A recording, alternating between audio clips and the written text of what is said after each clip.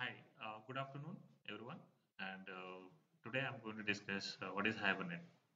The Hibernate is an uh, open source and lightweight ORM tool that is used to store and uh, manipulate and retrieval of data from database. I can also like uh, it is a, kind of object relation mapping we can achieve through ORM. So we can directly map our object to the relation database table.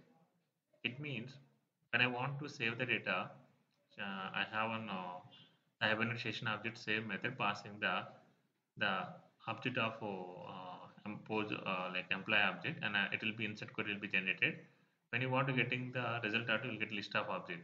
Here, uh, instead of writing the uh, developer to multiple lines the code to normally using an JDBC, getting the result set data, I need to populate the data into bean, collecting to the list. It's almost equal to the uh, uh, Hibernate. But the thing is here, we no need to write the, uh, everything code here and we'll directly map our object relation database table. That is one of the advantage. After that, we'll get database independence. Uh, we can change the database from DB to other DB and uh, easily and we no need to uh, rework on the queries which I have written and is in uh, HQL queries criteria API and we can also get to uh, change the dialect and the driver URL and uh, uh, generate type so we'll get achieved by using simply without uh, uh, reworking and everything by uh, using how we are using a normal JDBC kind of. And also we have an advantage of using of the first level cache second level cache and getting the faster response by using an second level cache and if you have reference data constant data that I make it as a uh, second level cache that way you can get use of implementing.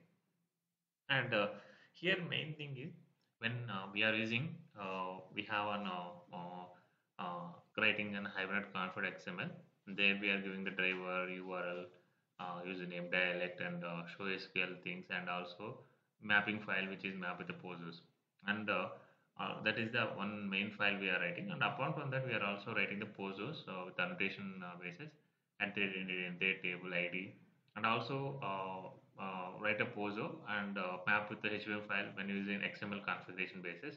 That is the other way of doing.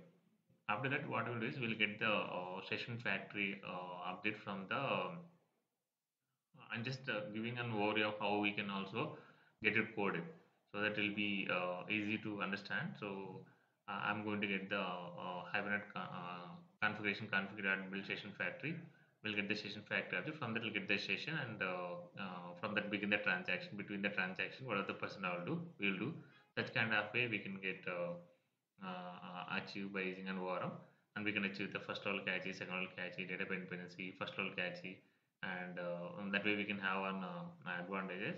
So uh, maintainability easy. So that way we can get use of Hibernate if you like it please like it please share it subscribe. Thank you thank you all